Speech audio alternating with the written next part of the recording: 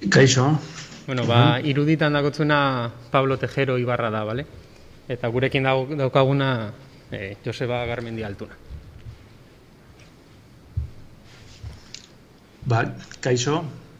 Egunon, e, e, lehenik eta behin, e, ba, mila esker antolatzailei aukera honengatik eta eta barkatuan e, ez izanagatik. E, Nolabait ikusiko zuen ez, e, bi, bi islari geha gaur, e, Joseba eta Biok, e, Arantzadi Botanika Zailekoak, eta azaldu nahi nuke askar-askar horren zergatia. E, nolabait e, gurea talde lana da, e, eta e, Joseba, pixkate zailan veteranoa izan da, ba, berak nolabait bultzatu du e, landare kontserbazioan inguruko lana hauetatik, ba, pasatzea e, eta ondara genetikoa integratzea. Hortaz, irutu zaigu ba, proposa, e, nolabait prozesu hori azaltzea e, itzaldi honetan, eta hortaz nahi desunean, Joseba, aurrera. Eh, eskerri asko, eskerri asko bereziki antolatzeiei, zeltasunek zeltasun ba, e, topaketakin aurrea itea lortu dutelako. E, gure gure aurkezpena pixkat e, iruzatitan banatuko da, eta e, lehenengo zatian e, pixka bat ikusineko genunak e, genukena da, edo ekotxine deuna da, nola e, landaren kontserbazioan e, lan egiten duenak askotan e, itxumustuka edo, edo zalantza askokin lan, lan egin barritzaten dugunez, eta batez ere ondare genetikoaren kontserbazioaren e, gaia sartzen baldin badeu. E, ba, azteko edo pixkat esplikatuko dugu e, Florapir e, programaren barruan egiten egean e, lana. E, programa hau da e, ba, Pirineotan kokatzen da eta fijatzen mazete azkenen ba, amaika erakunde parte hartzen nahi proiektu hortan, Eta dagoen berezitasun handina eta nik uste interesik handina da e, lehenengo aldiz aigela lan aiten Pirineotan ikuspegi e, biogeografiko batetatik. Askotan e, lan aiten deunen e, ba, biologiaren kontserbazioan edo e, ba, muga e, administratiboen arabera lan aiten dugu eta horren araberako lehentasuna markatzen dira. Kasu honetan aigela lan aiten e, muga e, naturaletan e, oinarrituta. Programa horren helburu nagusia da e, aldaketa klimatikoren kontestun, e, ba, Pirinotako e, floraren eta landareriaren e, ba, bilakaera zein izan bardan aztertzea eta aldaneinen ba, horren kontserbazioan edo e, lan egitea. Hainbat ikintza daude horren barru, baina fokalizatuko bereziki lehentasunezko espezien exituko e, kontserbazioan. Exituko kontserbazioa azkenen da, e, landaren, e, ondare genetikoaren kontserbaziorako daukuen erramintaik e, ba, obenetakoa ez. Eh, hainbat modutara daiteke, baina gehien azautzen den azken finen da, azien kontserbazioaren bitartez ziten dena azi bankutan. Azik erabiltzen ditugu, e, nola baita esateko, e, ba, landaren, e, genomaren, landaren gen edo aleloen e, kontserbaziorako denbora kapsula batzuk bezala. Modu egoki baten e, tartatuzkeo, azik teorian behintzat, ze teknikak e, zauzko beste urte, baina e, dozenaka edo eundaka urtetarako gorde daitezke ba, modu bideragarri batean. Hortaz, lehenengo pausu bezala edo Pirineotan indeuna da, eta txorra daten baten do, igual, ogeita, baten, egoita bat garren den, baina izan da jakitea zer handare dauzkon Pirineotan. Zer esan da bezala, oin arte, bakoitzak lan aite genuen gure eremuan, gure esparruan, e, bakoitzak erreferentziazko flora batzu genuzkan, eta ingin behar izan deuna da, e, ba, oi, ba, lehenengo zerrenda bat e, bateratu eta adostu. Oain jabadakigu, e, Pirineotan dauzkula, irumila seireun da berroita mabi taksoia autoktono jabeko zarkituak gaituko zen eta gaixo badie. Eta badakigu, ebaita Pirineok diela Europa mailan e, ikuspegi biogeografiko batetatik e, ba, eremu e, aberatxenetakoa. Alpekin batera, baina alpek adibidez lau mila espezie inguru dauzkea bertako dienak, baino irula goldiz handigoa da. Ordu mono, Pirineok zentzurtan garrantzitsuk izango lieke. Bai, harritu gaituna da, endemizitatea, espero baino e, baxua godala.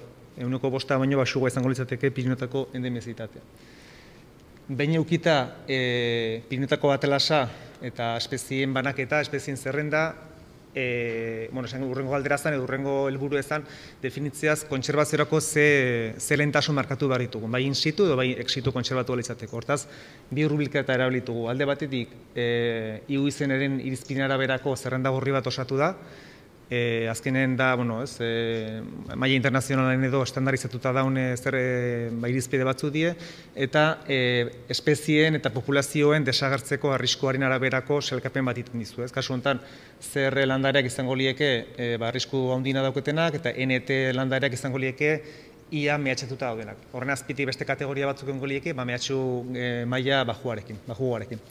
Hoien artena adibidea zengo litzateke ipuruz bulgariz, nik usten dezuna naparron e, daukeguna. Eta gero, e, aplikatu du beste hurbilketa bat, eta da ardura biogeografikoari dagokiona. Hemen azkenen sartu nahi izan ditugu, e, nolabait Pirineotan lan egiten deunontzako eta ikuspegi global batetik e, ardura berezia eman behar diogun e, espeziak. Hau da, adibidez, akonitun bari gatun e, Pirenaikun subespezia, e, ez da sartu zerrenda horrian, ez dalako konsideratu desagertzeko arriskoan dagoela, baino bada e, Pirineotako mendebaldeko endemismo bat. Beraz, espezie horren kontserbazioa guri dagokigu. Ez dagokio Alemaniako ikerketa zentro bati. Ozurrun, nolabait, zentru hortan baita garrantzi mana izan diogu espezie horiei. Ipurusanaren kasuan adibidez, e, banaketa asko zabalagoa dauke, e, ipar hemisferioan nahiko zabal baratuta dau, beti populazio txikiekin, Pirineotan desagertze baldin bada, e, nolabait bestoki batzutan izango du aukera garatzeko edo edo bizirauteko, ez? Bueno, bentaz, hortaz, bi, bi zerrenda horiek erabilitugu erreferentzi bezala kontserbazioari begira. Behin hori eukita, e, lau kategoria sortu ditugu, lehenengo hiru kategoriak die e, aurreko bi, bi urbilketa horietatik ateratzen dienak, ez? Lehenengo kategoriaren golieke desagertzeko arrisko ondina dauketen landareak, bigarrengoan ardura biogeografiko altua edo oso altua dauketen endemismoak, eta e, ardura biogeografiko oso altua dauketen landare ez endemikoak, eta hirugarrengoan engolieke ia mehatxatuta dauden espeziak e, endemismoak orokorren edo ba, populazio asko dauzketen endemismoak, eta altura biogeografiko, e, ardura biogeografiko altua dauketen ez endemikoak. Eta gero beste talde bat sortu deu, eta hori sortze dute aurreko kategorietan ez dauden e, habitat alpetar eta ez eta azpi alpetarretako espezie egituratzaileak. Ba baita e, habitat mailan baita lan nahi izateko. Hortaz, bueno, ja, zerrenda badaukeu, e, itxuraz egingarri dan zerbait da, zen ba, kategoria altu, honetan, badazko egun da sortzi landare edo taksoan ezberdin izango genituzke, bueno, guazen lanea ez.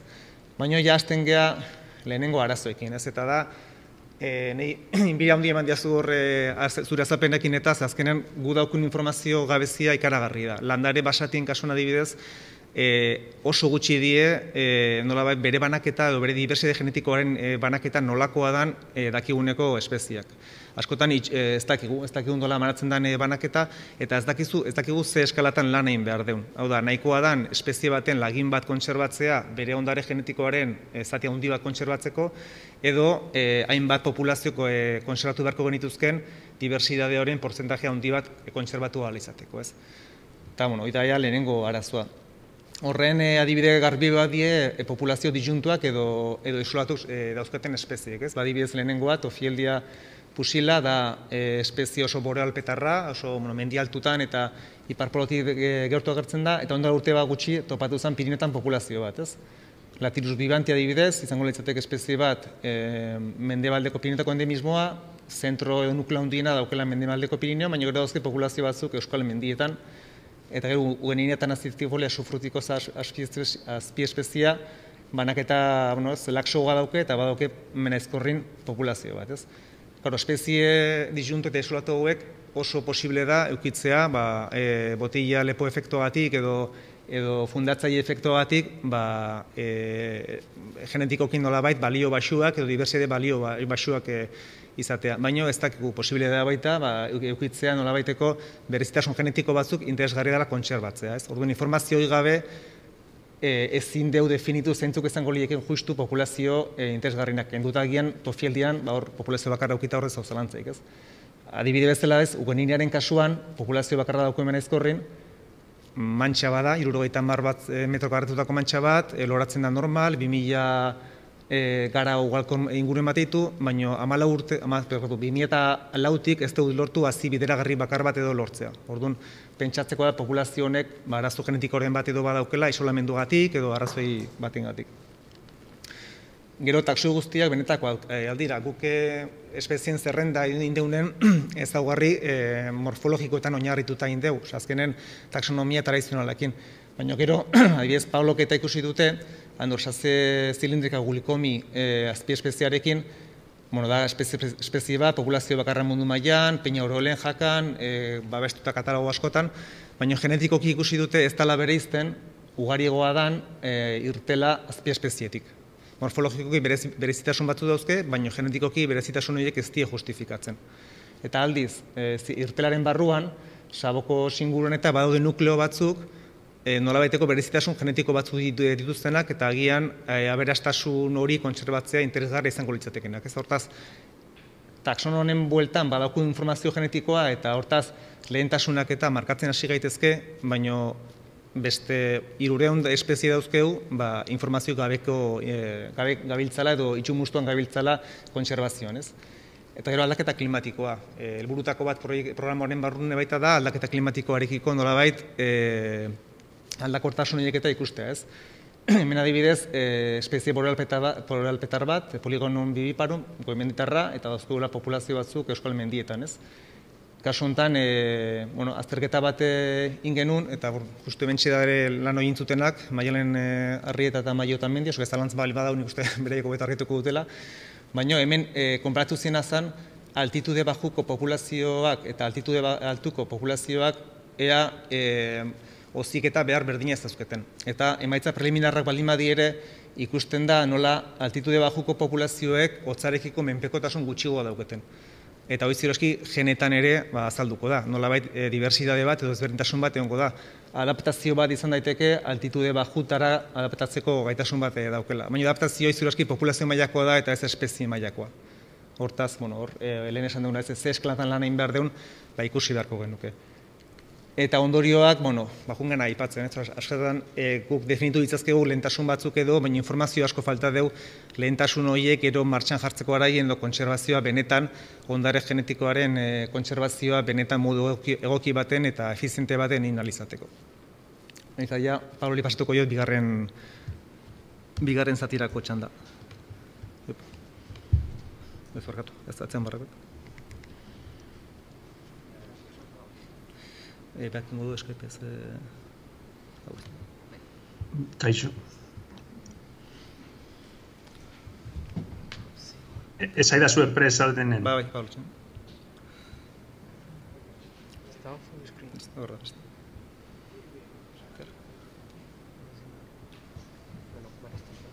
Listo ez? Ez zune, Pablo? Listo, ikusten da, ez da? Ba, ikusten da, bai. Ba, ba, bueno, e, Josua, que utz, da, e, ondare genetikoen emaitza zein da?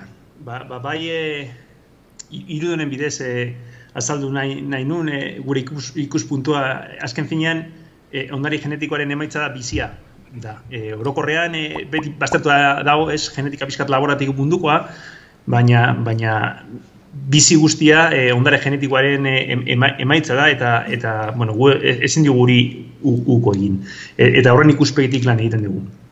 E, nire zati hontan, e, azalduko dut pizkatera teoriko baten, e, filogenia eta diversitatea filogenetikoa zer den, eta, eta batez ere espezie baten barruan ondare genetiko nola banatzen den, bai populazioen arteko diversitatea eta populazioen barneko diversitatea. Hori oso garrantzitsua delako, e, prozesu guzti horiek ulertzeko eta Joseba gaipatu ditune, ba, galdera hoiei erantzuteko. Ezta eta eta azkenean indari evolutiboekin e, lotura handia daukate prozesu horiek.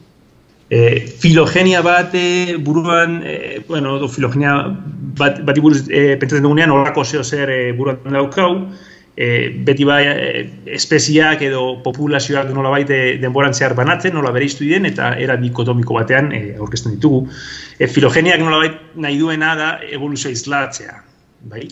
Baina mm, nola bait e, filogenia edo evoluzioa e, asko zere komplexua den prozesua da.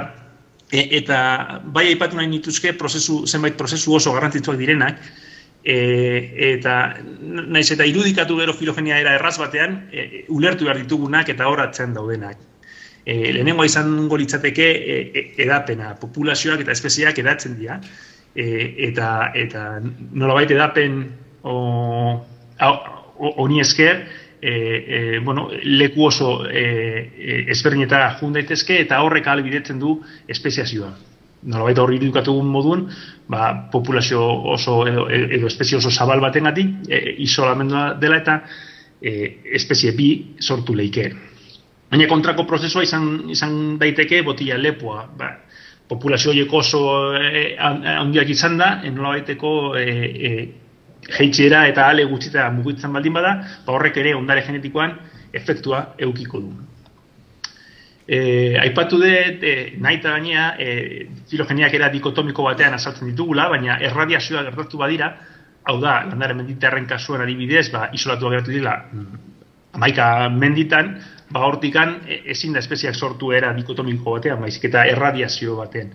Eta hori e, politomia baten bidez agertuko da e, filogenien. Hibridazioa, os gutikan, e, e, aipatzen den dokutudan hartzen den prozesua, manola landaren oso oso garrantzitua izan da. Horrek ze esan nahi du, ba, gaur egun e, entitate taksonomikoa argia daukan landare batek, agian e, e, oinarri hibridoa dauka, eta bi espezie ezberdinen genomak batu dituztela, ondare genetikoa batu ditu. Hortaz, e, bere, bere historia evolutiboa jarraita ez da lerro bakana, baizik eta momentu baten bi espezie horien lerroaren parte bat bere ganatu ditu. Eta hibridazioaren e, e, bere, kasu berezi da introgresioa. Kasu hortan bakarrik e, espezie batek jasotzen du beste baten e, informazio eta ondare genetikoa eta eta batzen du. Eta azkenean, estinzio ere aipatu nahiko nuke, ze nola bait, e, gure planetan egon dien espezie gehienak, ia, ia euneko euna, e, ba, desagertu egin dira. Eta, eta historian zehar, estintzio krisi ugariak egon dira. Uste, e, gure ardura dela, e, gu planetan egoteagatik ez, ez, ez gauzatzea beste estintzio e, haundi bat, nola bait, bidean gaude bete, eta horiek egitea. Baina estintzioa oso oso ugaria izan da. Guzti horrek nola baite dibertsitate fele genetikoa osatzen du.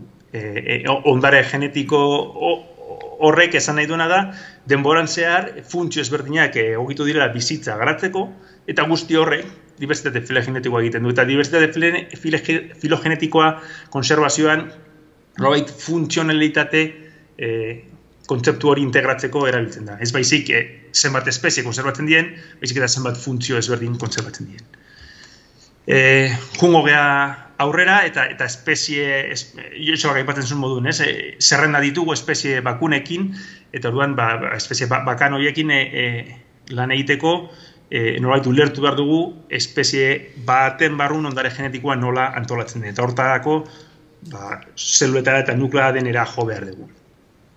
Eta azkar, azkar, e, hasi behar gen, genekin, ba, ba, gen bat nola baite funtzioa daukan e, ADN sekuentzia bat izan leike, definitu ezakegu, eta e, diploide garen organismotan bi alelo ditugu, berdinak edo ezberdinak izan daitezkenak, e, bat aman gandik eta beste aitan gandik jasotakoa.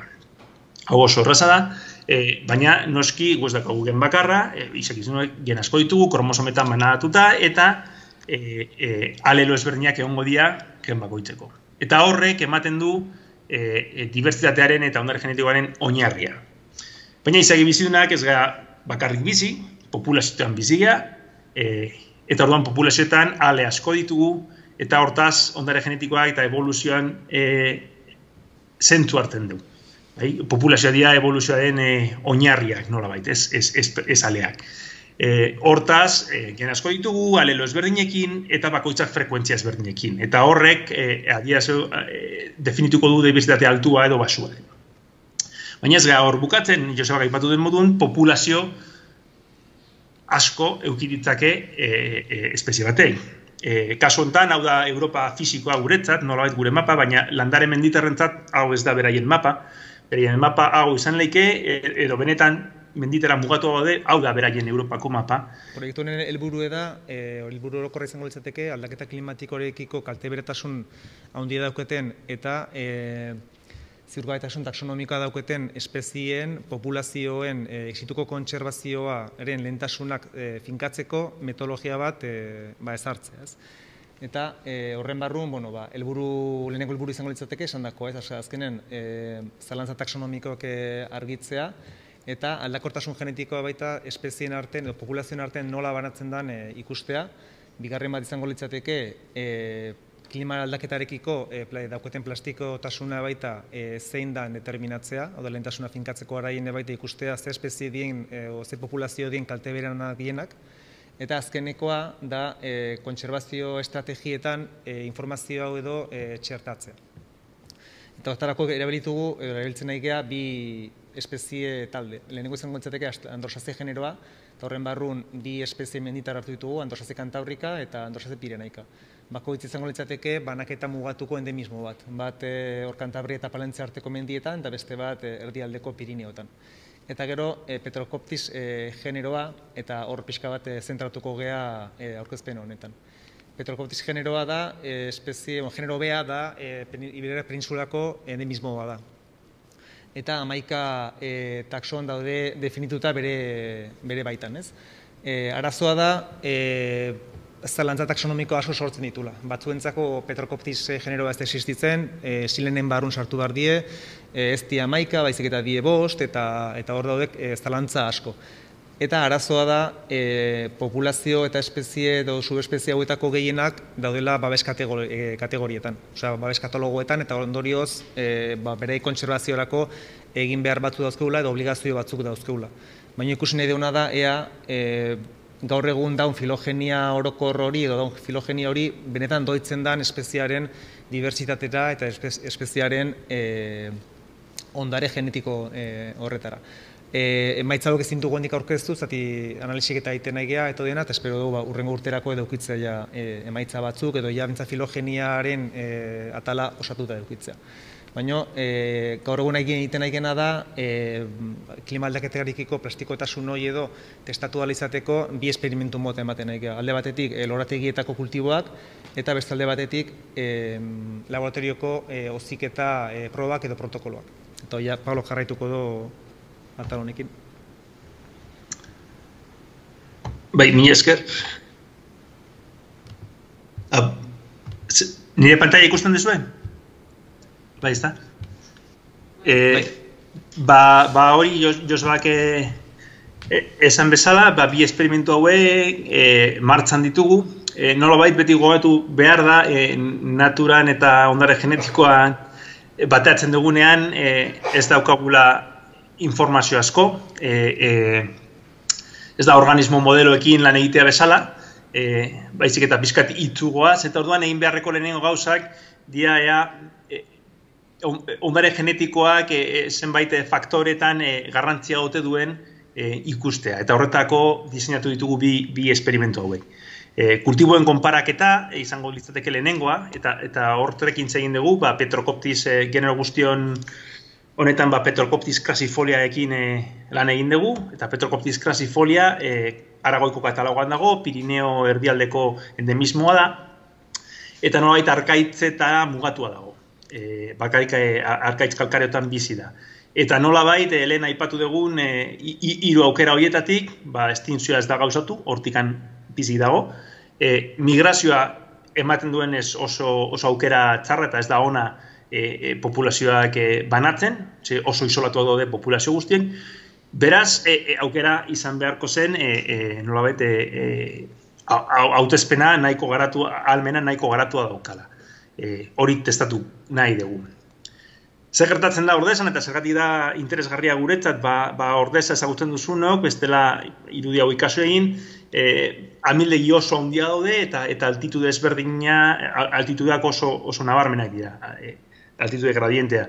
Hortaz, e, populazioak hartu genituen, e, nolabait, e, al, e, ia alpetardien eremu hoietan, eta mila metro berago, e, kainoi berdinean, e, nahiko egoera mediterraneo batean bizi den populazioen arteko konparaketa egin alizateko. Eta hasi horiek e, e, eren egin ditugu lauleko ezberdinetan, klima ezberdina daukaten lekuetan, donosti, gazteiz, jaka eta eta monzonen.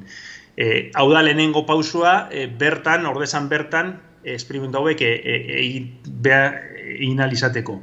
E, nola baite leku hautan jendea daukagu eta kontrolpean daukagu kultiboak eta ikusi nahi, ikusi genuen ea bideragarriak ziren.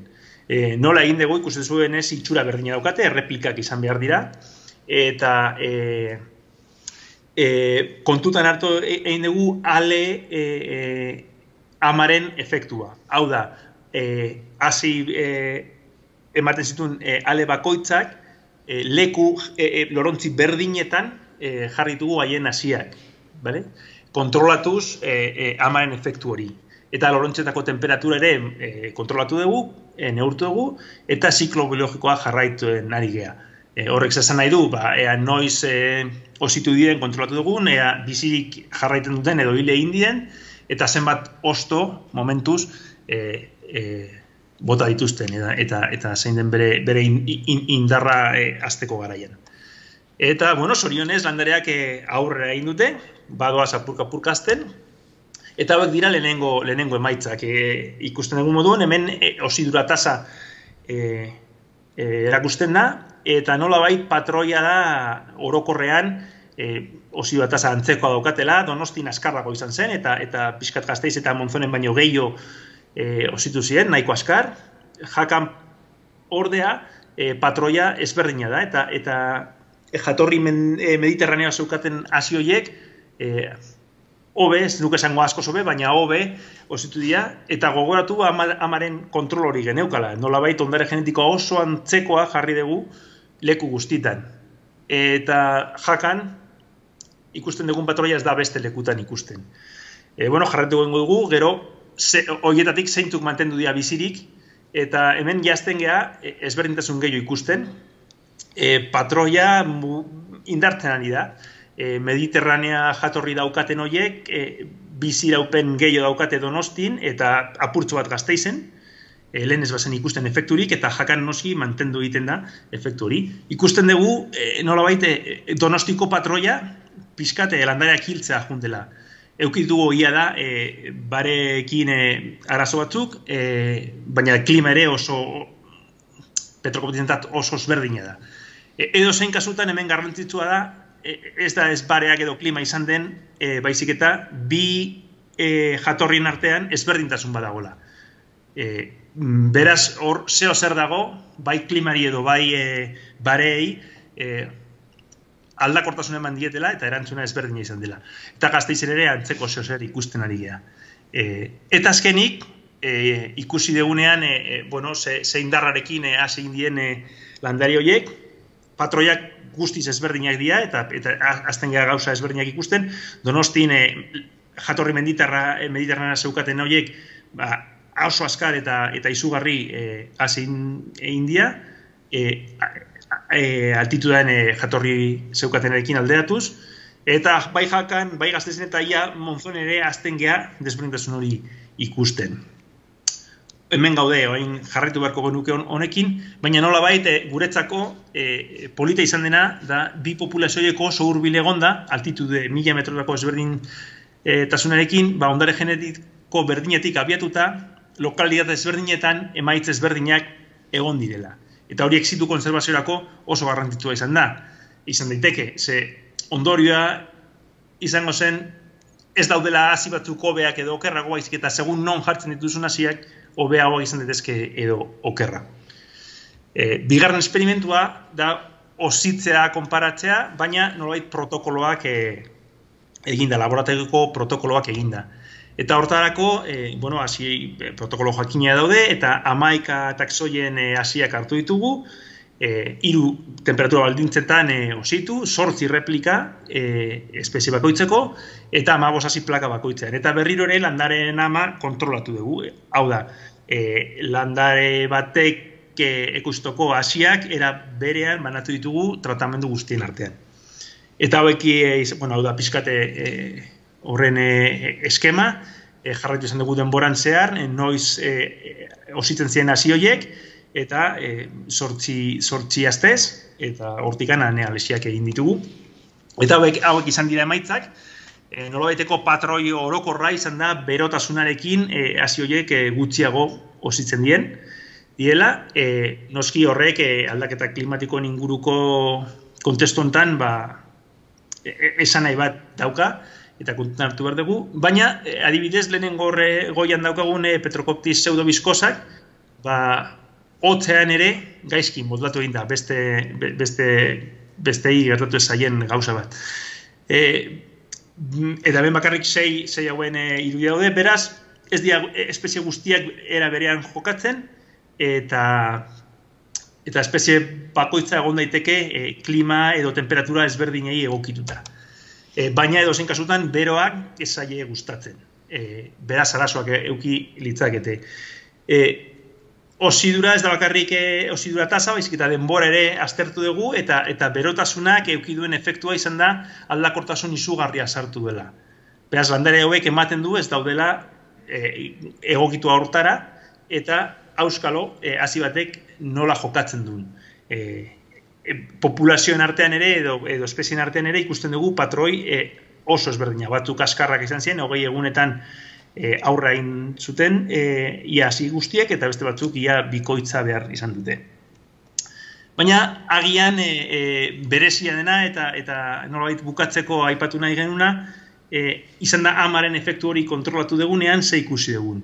E, noski, e, e, maitz orokorrak esaten bazuten e, e, beroa kaltegarria zela, ba, orokorrean e, ale, ale bakoitzak e, banan-banan aztertzeakoan, edo bere hasiak aztertzeakoan, ba, patroi esan daike batutan ez da ez direna ositzen e, temperatura beronetan, edo orokorrean okerrago egiten zutela. Hori da patroi orokorra.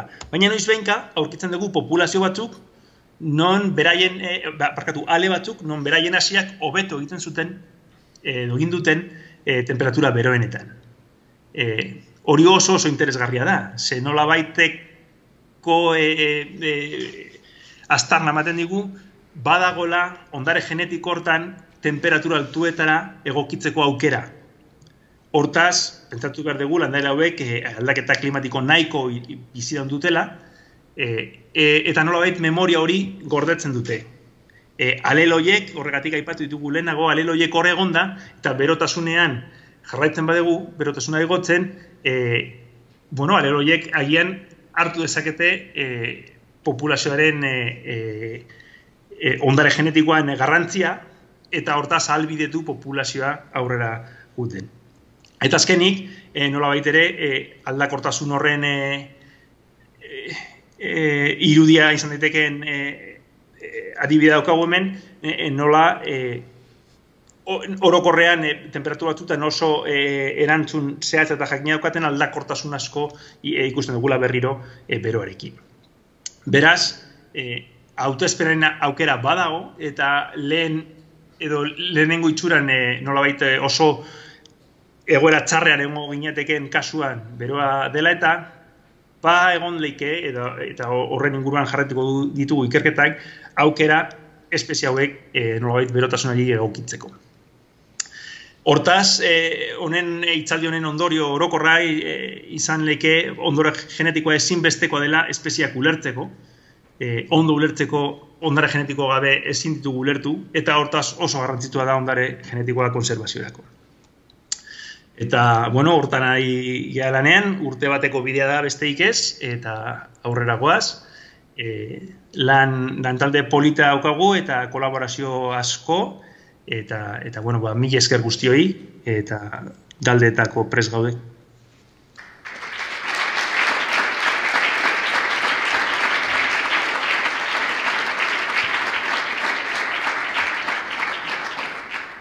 Vale, eh, eskerrik asko iruoi, aitzen da, ondo?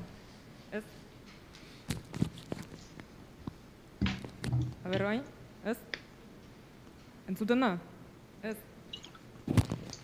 E, bueno, galdera da pixka e, gainera etorri zaigu, orduan pare bat aldera azkar, eta maiketa pora bideratuko zaituzte, bale?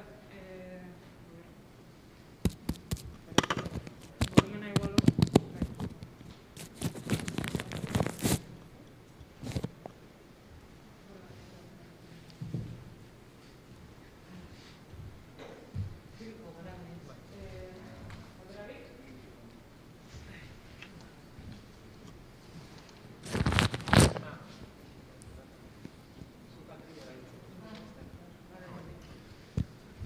Ja, botanikarintzako e, galdera, iruditzen zait e, lan bikaina egiten ari zaretela eta oso garrantzitsua dela e, ezagutzea e, populazio hauen egitura genetikoa, baina e, aztertzen ari zareten espezioetako askoia muga-mugan daude.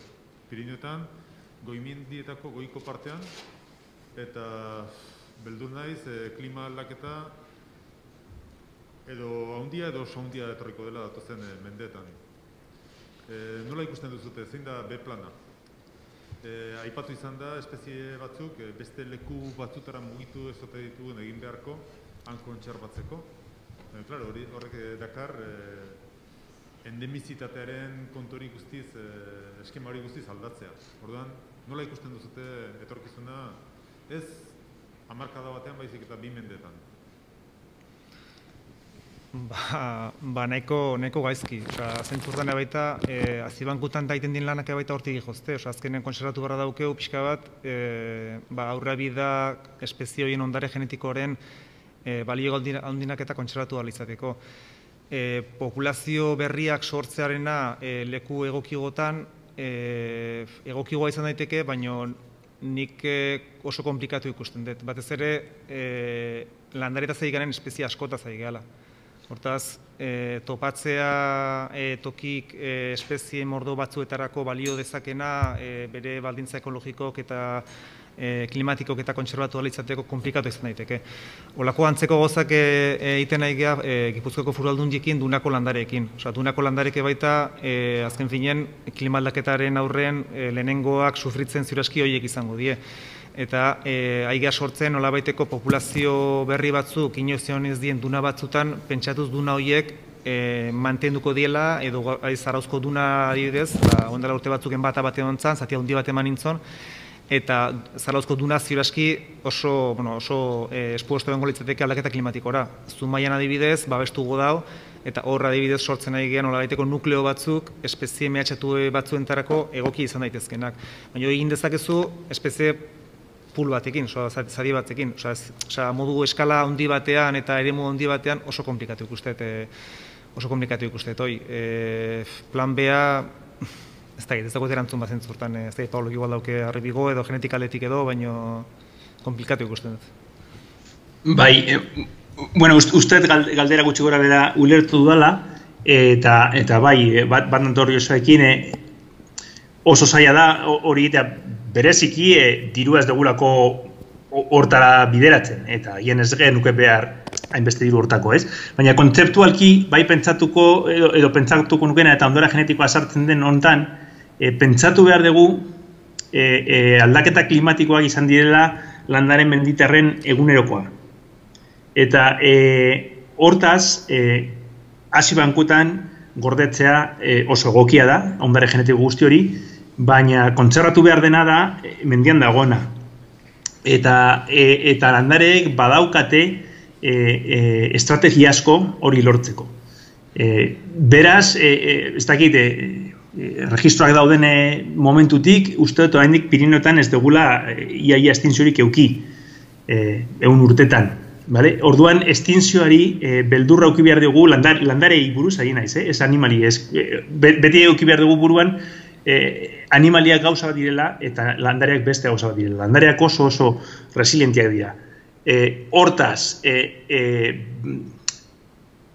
ni jarriko nuke esfortzu guztia e, bai e, arriskoan egon deiken horiek hasi bankutan gordetzeko, baina in situ konservazioan jarriko nuke e, esfortzua. Hortako ezagutu behar ditugu landari horiek prozesu hauek nola egiteko e, eta posible diren egitea, bueno, hasi dira leku batzutan egiten, e, e, Pirinioetan, e, e, karo, baina ikusi behar dugu norekin eta zertan egin den.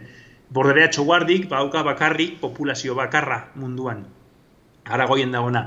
Eta, e, bueno, populazio hori galtzen bada, espezial ezagertzen da. Eta horrekin bai egin dituztela zenbait e, e, ahalmen e, beste leku batutan e, azteko eta, eta bueno, aurrera, aurrera egiten ari da. Ondo, ondo dago baina sortzen den hori enolabait eh, zoologiko bate modun antzekoa da, ez? E, esan e, ez da berez gauzatu. Beraz, e, nik behintzat ez, ez nuke lehentasun modun horta joko. Hori izango litzateke emergentzi guztiz e, handia denean pentsatu beharreko zeo zer. Landareak moldatzen dira, behaik moldatzeko gaitasuna daukati. Gero hor, bakarrik puntualizazio bat, eh? hor, e, puntualizazio bat, edo pixka bat, e, koza komentatzeko. Askotan, e, landare, oza, bereiztu bat bet, landare bat sentikorra izatea eta kalte bera izatea klima aldaketarekiko. Osa, espezie menditarrak oso sentikorrak die, oza, azkenen bere baldintza klimatikok eta aldatu behar dielako, baino e, dau beste oin bat dala e, moldagarritasuna edo adaptazio gaitasuna. Osa, e, Pablo esan bezala azkenen e, milioika urte da mazkite horietako espezie asko Pirineotan. Eta hainbat klima moda ezberdin ez dituzte eta bere bilakara eduki dituzte. Gie dauen goa, ba, izango dela oso azkarra eta oso bortitza. Baina, eukidezakete e, moldatzeko gaitasun bat. Horre, Pablo baiten ditun grafikoetan eta ikusten zanen nolabait ikusten zala baita, naiz eta bero egin gustatzen badauden ale batzuk, ba, berotasunarekiko nolabaiteko ba, tolerantzi gehiago dauketen, ez? Ba, bizkat hor behin bat da baita e, azpimarra, ez? Bizkat e, aldatzeko edo moldatzeko gaitasuna eduki dezaketelako e, landari horiek. E, bale, e, andonarentzako galdera laburrik, e, edo bestela amaiketako, bai. Nik daukat galdera bat. E, oso interesgarria iruditu zaite zuen lana, super.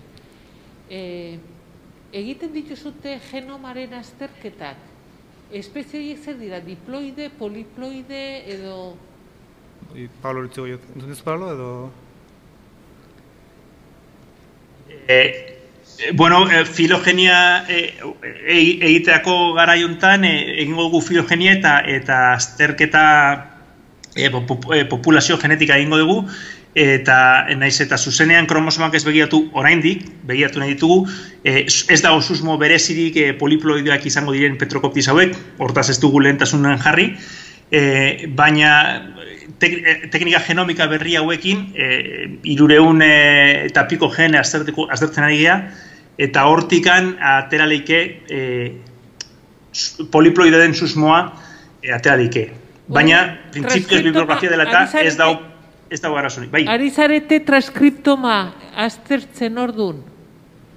Ez, ba gaude e, e, e, genak, genak sekuentziatzen. E, nola baite, tradizionalki egiten, egiten filogenia, baina gen askoekin NGS eta HiveSec deitzen da teknika. Ah, e, ah ze, ondo, ondo, ondo. Garatu berria zein da kontua, e, gauzak e, pausuz pausu egin behar dugu, eta transkriptomika egiteko garaian, e, nolabait galdera argi euki behar dugu. E, baina bai transkriptomika e, gure, gure lan hildoan dago, baina urrengo pausutan. E, ez gara ez gara ziko transkriptomika egiten, e, zeren artean konparazioa egin behar dugu jakin baino. Eta gene horien sekuentziazioa egiteko zeiten dezute, sekuentzien kaptura edo? Ze metodologia erabiltzen dezute? Eh, eh, Hivesek eh, eh, eh, teknikak zer, egiten du. Eh, eh, egiten dugu eh, libreria bat, eh, adene guztia atera, eta hortikan eh, eh, gen hauen sondak ditugu, eh, unibertsal dira deitzen da nahi badezu apuntatu, deitzen da kit bat da, da 2000 eta mazortzien ateratakoa, eta angiosperm eh, kit irureun da bai. berrogeita mabi gen uste dut E, eta duan, oiek dira e, ARN sondak, nolabait gen hauek e, e, e, filogenia guztian, e, e, landare filogenia guztietarako balio omen dutenak, eta eta horre e, selekzio bat egiten dugu. Beraz, geratzen gara libreria hortatik ADN jakin batzukin, eta hori da sekuentzatzen duguna. E, era berean, e, e, e, kloroplastoa eta, eta ADN ribosomikoa e, oso ugaria denez, era berean hori ere sekuentzatzen da. Beraz, e, gen bat, bi edo irurekin lan egin beharrean, ba irureun, agian, agian berreun eta berrogeita marrekin gehatzen geha. Baina gen askorekin lan egin dezakegu. E, nola eta nahiko, nahiko berria da, hasi ziren e, 2000 eta mazortzian honekin lan egiten. E, Kiun, e, gure lankiak diren e, Kiu botanika algardenekoak. Ondo, ondo. Bale, ba, ondo entzuten zait? E, bueno, esan dakoa, eskerrik asko hiru hoi, e, honekin amaiera emango diogu lehenengo moduluari,